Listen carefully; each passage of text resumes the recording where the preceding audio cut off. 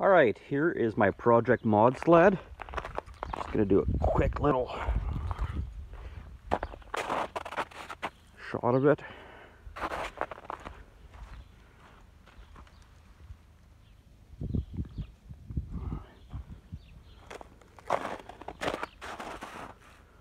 Four eighty eight fan, one forty one Challenger track, 08 RMK front shocks, some other stuff done to it obviously. I'll make a better video in a bit.